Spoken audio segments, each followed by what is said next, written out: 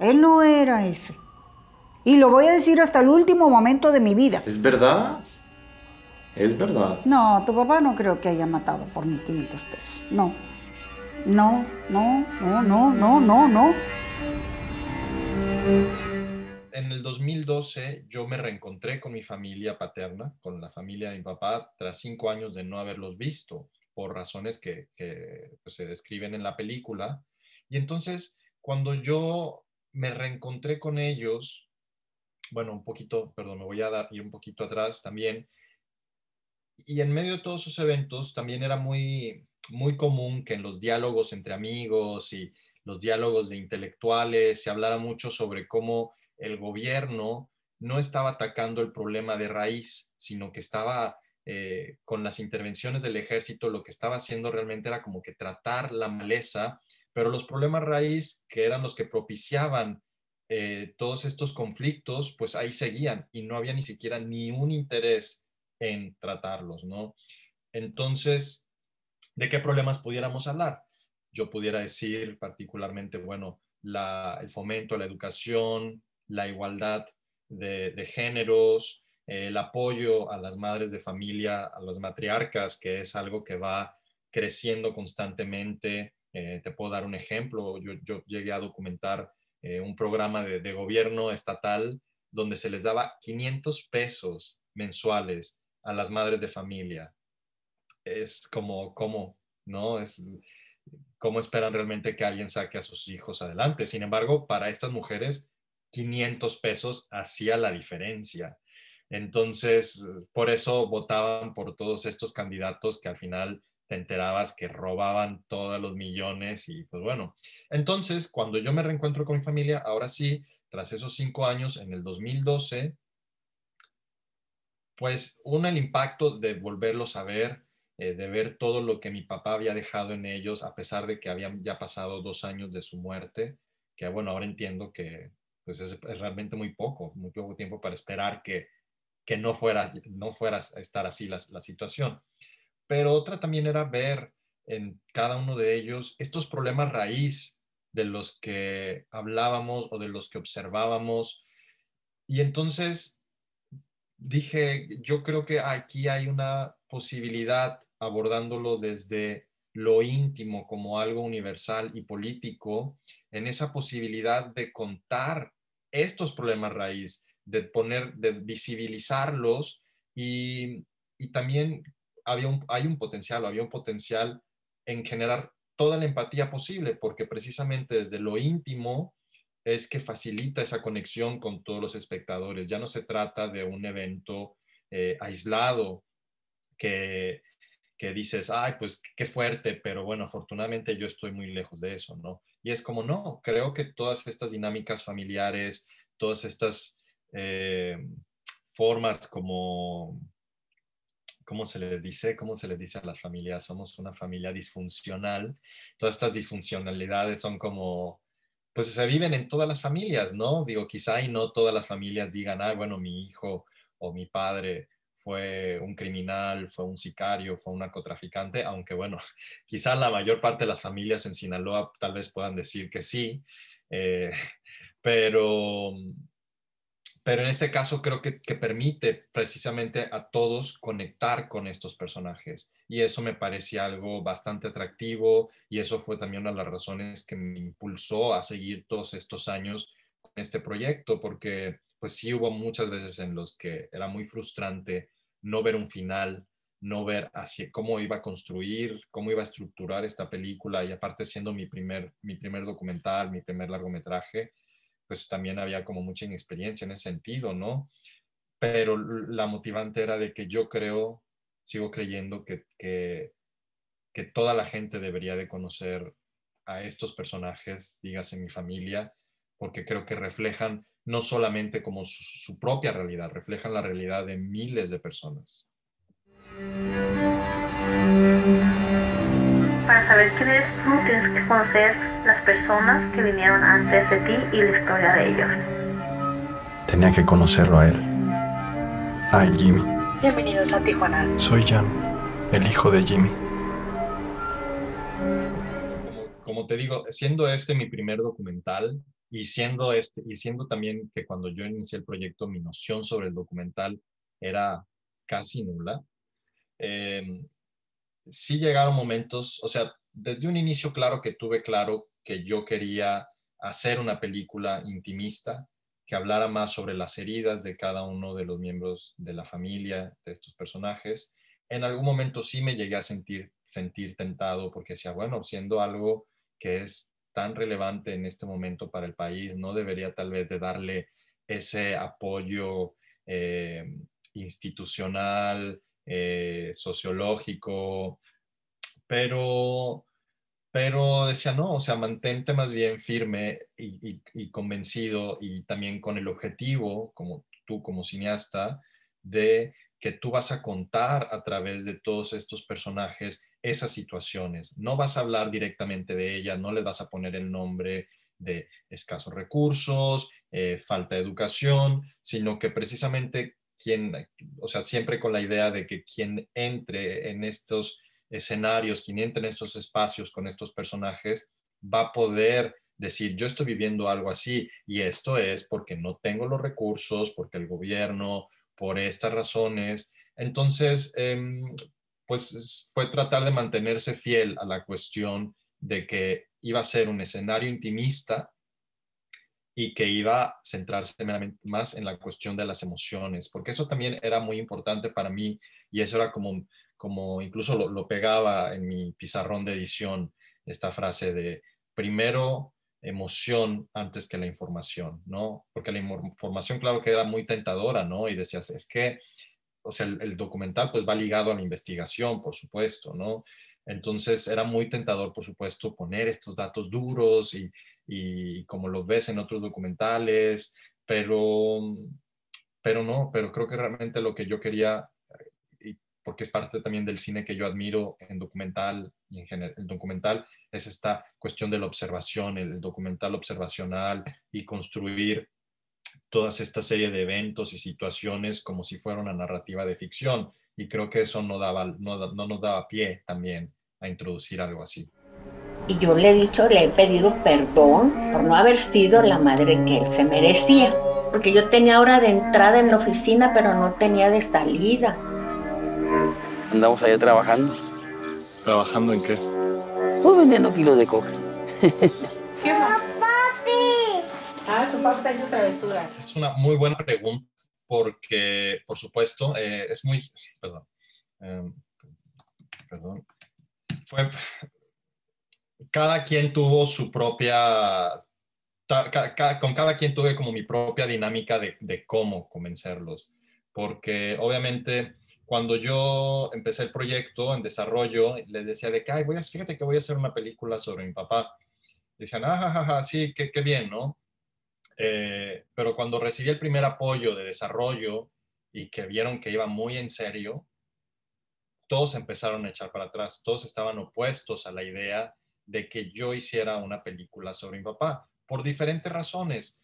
Unos por temor a, a cómo yo quería, a cómo yo fuera a abordar la película y por temas también de seguridad mía, ¿no? Eh, mi mamá en particular me decía, es que no sabes si tú vas a hacer una investigación que pudieras encontrar, que pudiera perjudicarte. Eh, y otros porque también pensaban que quería hacer una película policíaca y, centrarme en la idea del padre criminal.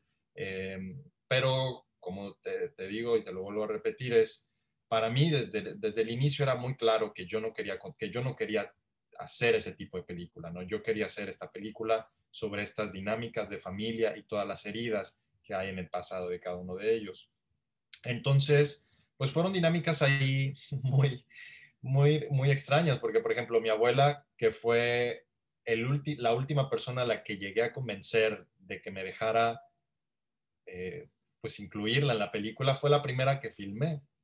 Eh, y no, nunca puso ninguna, nunca puso ninguna barrera, nunca puso ningún, nunca mostró alguna posición, porque ella pensaba, como siempre me ubicaban a mí con una cámara, porque siempre cuando iba a ver a mi papá llevaba mi camarita de, de video, pues siempre me decían de que, pues pues sigue igual, ¿no? Em, sin embargo, pues ya llegó un momento en que dije, pues no la puedo, no voy a engañarla, no le voy a decir que, para qué, para, no le voy a emitir porque estoy usando este material.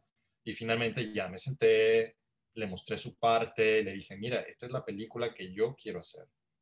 Entonces ya accedió. Mi mamá, pues también. Con mi mamá, digo, me decía que no, pero yo, como es la, si sabes, como el, bueno, es mi familiar más cercano, porque aparte, pues bueno, crecí con ella, yo no sabía, o sea, dije, ay, ok, dime que no, pero sabes que eventualmente me vas a decir que sí. Eh, entonces, pues así fue, finalmente fueron estas dinámicas en donde medio te haces güey, por así decirlo, eh, en el de que, ay, pues jajaja, fíjate que te voy a llevar a tal lado y te voy a grabar y pues bueno, ya te traje. Eh, y con los demás, fíjate que, por ejemplo, en el caso de mi hermana, de mi abuelo, de mi tío, ellos no se opusieron para nada. Ellos fueron siempre muy en la idea de, ok, o sea, entendemos por qué quieres hacer esta película, no tenemos ningún problema con que la hagas y en lo que te podamos apoyar, ¿no? Creo que también ayuda, en el caso de todos, que yo creo que todos son muy encantadores, todos son como estas personalidades como muy ligeras, muy agradables en cierta, en cierta forma y, creo que eso también les daba a ellos la seguridad y la confianza de que los grabaran, ¿no? O sea, nunca había esta posición de que, ay, no grabes esto, no, porque creo que de alguna forma también ya estaban acostumbrados, bueno, de alguna forma, pues son, son quienes son, te diría, por ejemplo, en el caso de mi tío, pues él ya estaba acostumbrado a las cámaras siendo músico. Eh, y pues así fue, digo, quizá el único caso que, lamento que no, haya, que no haya estado y que no haya formado parte de la película al final fue mi hermano, mi hermano Anthony. Cuando yo inicié el proyecto, pues él estaba todavía con vida, ¿no? Y él fue uno de los, y él fue una de las personas que él estaba opuesto a que yo hiciera esto. Creo que más, creo que simplemente no tanto por, por esta idea de que si fuera peligroso o si fuera el padre criminal, sino creo que él genuinamente le dolía la idea de que yo hiciera algo respecto a mi papá, ¿no? Y yo pensaba que lo iba a convencer. También dije, eventualmente lo voy a, le voy a hacer entender qué es lo que quiero hacer. Y, y al final, pues bueno, la, muerte lo alcanzó y ya no lo pude convencer. Entonces, eh, pues bueno, por un lado digo, ok, pues vamos a buscar contarlo a través de eh, su pareja, de, su, de su novia y de sus hijos, y pues también de los recuerdos que, que yo guardaba alrededor de él. Y de repente se escuchaban balazos y le decía, ¿qué pasó? Ah, que acabo de matar a una persona. La gente, dices tú, en mi casa no hay armas porque yo tengo niños. No, si tú acostumbras al niño a ver las armas, los niños no juegan. Tuvo que haber un momento con mi papá en que él pudiese decir, no está bien. ¿No crees que tal vez te quiso proteger de eso? Bueno, lo primero que tengo que decir, Gabriel, es que me caes muy bien y que, que, agradezco mucho tu lectura, eh, porque créeme que el título siempre ha sido como un tema para, para muchos alrededor, ¿no? Hay gente que le gusta, como tú lo mencionas, hay gente que, que no le gusta, hay gente que incluso, o sea, previo a Toronto, Incluso el programador nos sugirió, nos dio la posibilidad de cambiar el título y nos dijo, pues yo creo que deberías de cambiarlo si tú quieres. Y al final, pues sí, y sí lo consideré, sí consideré cambiarlo, eh, aunque siempre me casé con la idea de Comala y para mí siempre fue Comala. ¿Y por qué? Bueno, em, es, para mí es muy, muy interesante y es muy, también muy, muy relevante personalmente que cuando yo hice este reencuentro con mi familia, yo, quería, yo, yo, planeaba hacer una ficción, porque yo vengo de la ficción, entonces yo, yo iba a hacer una ficción con este evento de, de la muerte del, del, padre sicario, ¿no? Y, y, recuerdo que estaba preparando mi proyecto para el FONCA, para la escritura del guion, y entonces pensaba de que, bueno, voy a hacer este viaje para ver a mi familia después de este tiempo, igual y me va a ayudar como para aterrizar cosas para, para la escritura del FONCA Dije, también, dije, quizá debería de leerme algunas cosas para tener algún respaldo eh, literario. Y dije, ay, pues me voy a volver a leer Pedro Páramo, que la había leído en la universidad. Y me acuerdo que el avión hizo escala a Guadalajara, era Monterrey, Guadalajara, Guadalajara, Tijuana. Paré en Guadalajara, compré Pedro Páramo y me empecé a leer Pedro Páramo desde que llegué a hacer este reencuentro, ¿no? Entonces para mí fue un impacto, ah, fue algo muy fuerte el que me vi a mí y vi a cada uno de los miembros de mi familia sin ninguna dificultad plasmada como personaje en la novela de Juan Rulfo. O sea, sin, te digo, no, no tenía que hacer ningún esfuerzo en decir, ay, tú eres este, tú eres este, tú eres este, tú eres esta, ¿no? Entonces, ese paralelismo me parecía algo muy fuerte, también por el hecho de decir, mira, cómo el arte, eh, pues realmente sí tiene un reflejo muy fuerte de la realidad, ¿no? Y sobre todo pensando cómo una novela como Pedro Páramo, que fue escrita hace, eh, que 70 años, casi 70 años, todavía sigue pudiendo tener esta vigencia, a pesar de que era un contexto histórico mm, distinto el que planteaba eh, y donde todavía sigue esa vigencia, ¿no? Entonces, de hecho, la película, inicialmente la idea de, mi documental era, iba a ligar realmente más Pedro Páramo con la historia de mi familia.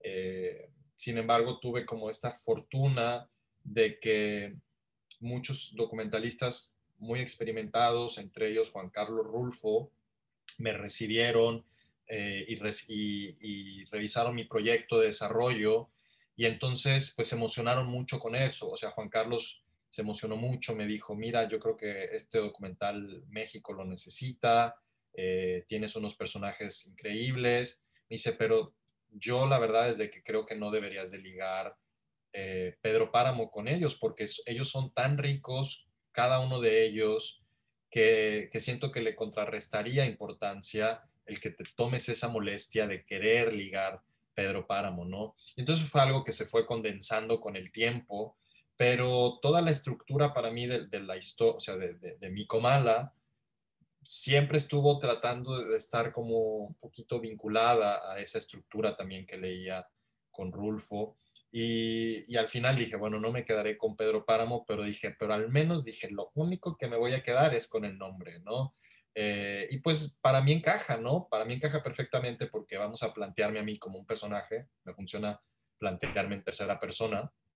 Eh, el personaje también está en búsqueda de su padre y viaja pues no solo a un lado, porque realmente, bueno, el, lugar a donde viaja pues quizá no es lo importante, claro que lo es, en sentido de que hay un contexto eh, social en cada lugar muy, muy fuerte, ¿no? Volviendo a lo de Sinaloa, Sinaloa es algo muy particular, Tijuana es particular, Texas es particular, cada lugar tiene su identidad, pero en este caso, bueno, eh, pues este personaje viaja a esos lugares precisamente para, para, descubrir esta identidad. Y Comala para mí es eso, ¿no? Es un viaje a ir a donde radican partes de, de tu identidad, y, donde están estos pasados, ¿no?